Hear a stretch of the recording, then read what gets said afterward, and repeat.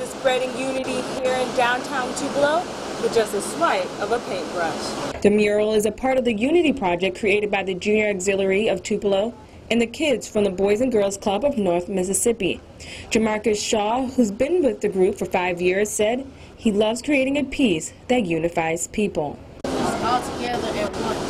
Early this morning, about 35 kids worked on the Unity masterpiece. They painted in groups of six to ensure social distancing. The one feeling they all had in common was